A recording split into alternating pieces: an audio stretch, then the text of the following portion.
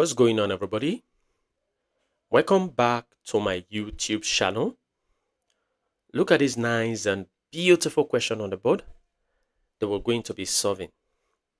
And the question says, find the values of x for which 1 all over x or raised to the x is equal to 4 to the x plus 1 all over 16.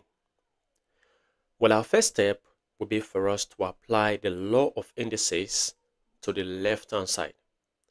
So the law of indices which says when I have a over b all raised to the n, this is same as a to the n all over b to the n. But what I have here is 1. So the law of indices also says when I have 1 all over b all raised to the n, this is same as 1 all over b to the n. Because even when you raise 1 to a power, let's say n, it is still the same 1. So whatever power you raise 1, you're going to be having the same result, which is 1. So now let's apply this law of indices to what we have here. So that means this expression on the left can be written as 1 all over x to the x equal to now what I have on the right hand side is 4 to the x plus 1 all over 16.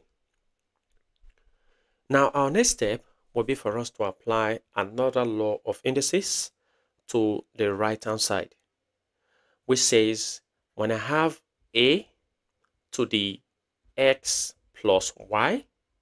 This is same as a to the x times a to the y. So let's apply this to what we have here. So we're going to be having 1 all over x to the x to be equal to, now this becomes 4 to the x times 4 to the 1 all over 16. Good. Now, our next step will be for us to make the left-hand side unity, which means to make it 1. And how do I do that? It is simply by multiplying both sides by x to the x. So I'll multiply the left-hand side by x to the x. So x to the x times 1 all over x to the x equal to I'll do the same thing to the right hand side. x to the x times 4 to the x times 4 to the 1 all over 16. Now notice that x to the x can cancel off, leaving behind 1 equal to, now on the right hand side, I have x to the x times 4 to the x times 4 to the 1 all over 16. Now notice that on the right hand side, we have common powers of x here, right? Cool. So that means we're going to be applying the law of indices, which says when I have a, for example, a to the n times b to the n, common powers, this is given as a times b to the n. That means multiply the base and group them with a common power. Good. So let's apply that here.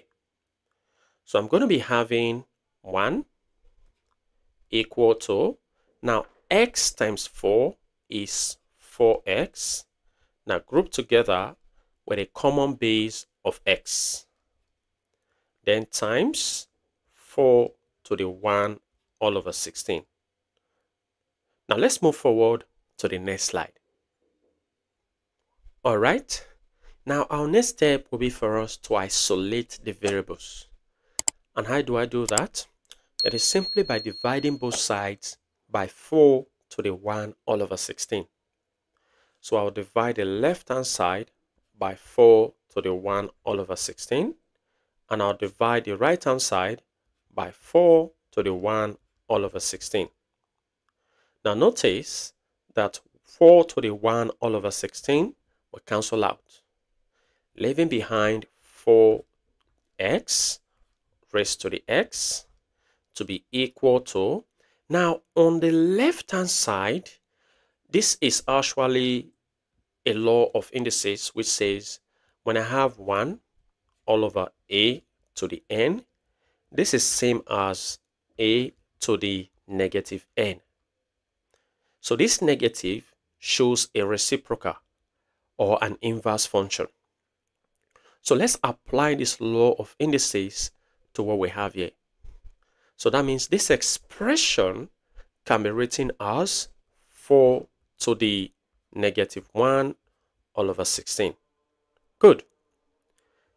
Now, our next step will be for us to make the base here and the exponent here to be the same.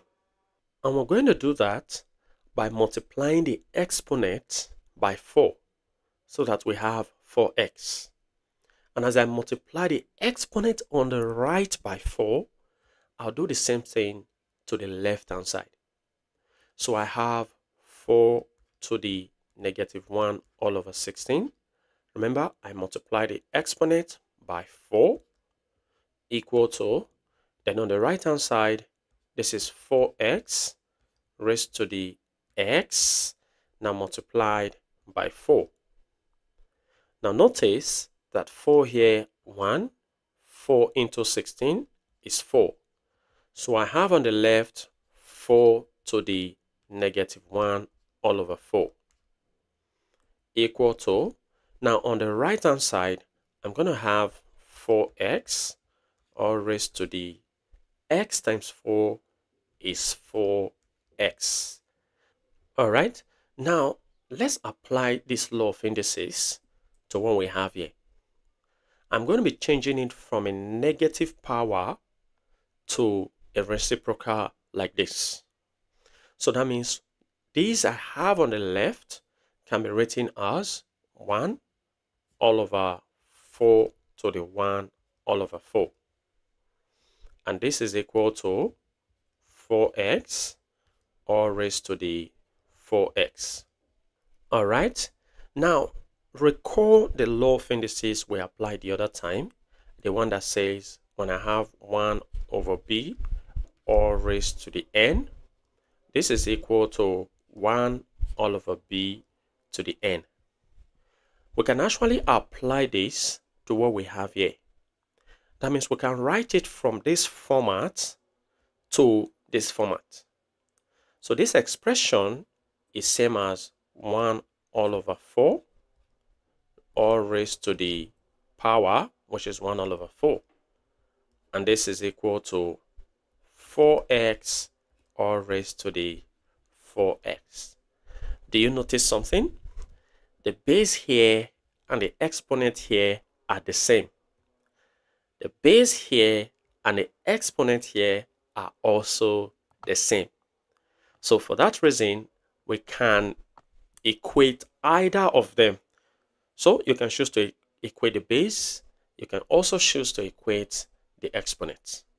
So let, let's equate any one of them. So we can say 1 all over 4 is equal to 4x. Now, to get the value of x, we have to divide both sides by 4. So, 1 all over 4 divided by 4 is equal to, now on the right hand side, I have 4x. I'm also going to be dividing this by 4. Now notice that 4 can cancel out 4. Now we have x to be equal to. Now on the left hand side, you can see that this is a base and this is also a base, which means they multiply. So I have 1 all over 4 times 4 is 16. So this is a value for x. So x is equal to 1 all over 16. But the question is, is this the only solution for x? The answer is no. Now let's find other solutions for x on the next slide. All right. Now from here, we see that the base here and the exponent here are the same. The base here and the exponent here are the same. But there is something we need to do on the left hand side. Now, on the left hand side, I can break this 4 into 2 square. So this can be written as 1 all over 2 square. Very good. And remember, this is raised to the 1 all over 4 equal to the right hand side is 4x all raised to the all raised to the 4x. Now remember that from the law of indices, the one we just applied, so that when I have 1 all over b to the n, this is same as having 1 all over b all raised to the n, right? So we can apply this law of indices to what we have here. That means this expression can be 1 all over 2 all raised to the 2. And remember that this is raised to a power of 1 over 4. So let's raise this expression to 1 all over 4 equal to the right hand side we have 4x all raised to the 4x. Now from the law of indices, powers multiply. So when I have a to the n, and this is raised to another power of m, this is equal to a to the powers multiply, n times m, which gives nm. So as powers multiply, you see that 2 here is 1, 2 here gives what? 2. So that I have 1 all over 2 raised to the remaining power here is 1 over 2. And this is equal to the right hand side 4x all raised to the 4x. Now notice once more that the base and the exponent are the same on the left. The base and the exponent are the same on the right. So which means we can equate. So 1 over 2 is equal to 4x. And in order to get the value of x, I'll be dividing both sides by 4. So 1 over 2 divided by 4 is equal to 4x divided by 4.